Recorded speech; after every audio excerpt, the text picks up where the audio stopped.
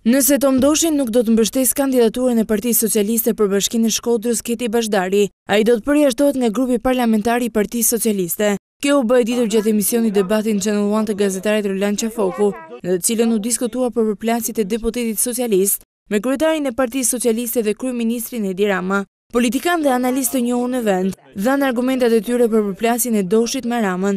Shkaku real i përplasjes ka qenë mos përcaktimi i kandidates të preferuar nga zoti Doshi për Bashkinë e Shkodrës.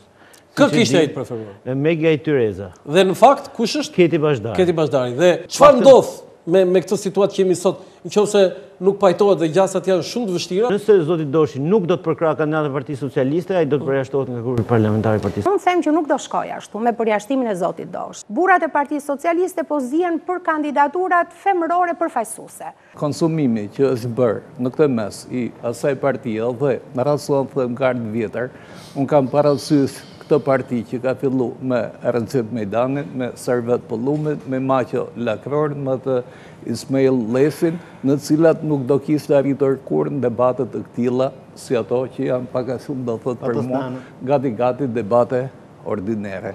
Ish-deputeti i Partisë Socialiste dhe analisti i njohur Hamdi Jupe, Një mbështetës i flaktë i qeverisë Rama në fillimit e saj, ka hedhur një lumë akuzash dhe ka bërë kritika të rënda, ndaj asaj që ai e quan se Partia Socialiste nuk ekziston më.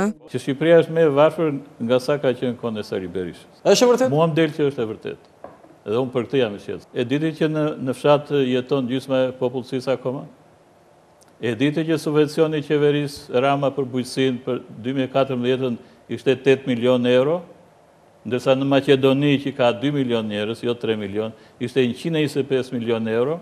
Por analistë të tjerë, akuzojnë Tom Doshin për atë që ka krijuar në kampin rozë. Historia ka tregu, jo vetëm historia shqiptare, që ata që janë, ata që janë poshtë, normalisht kanë vetë dalë gradualisht nga politika.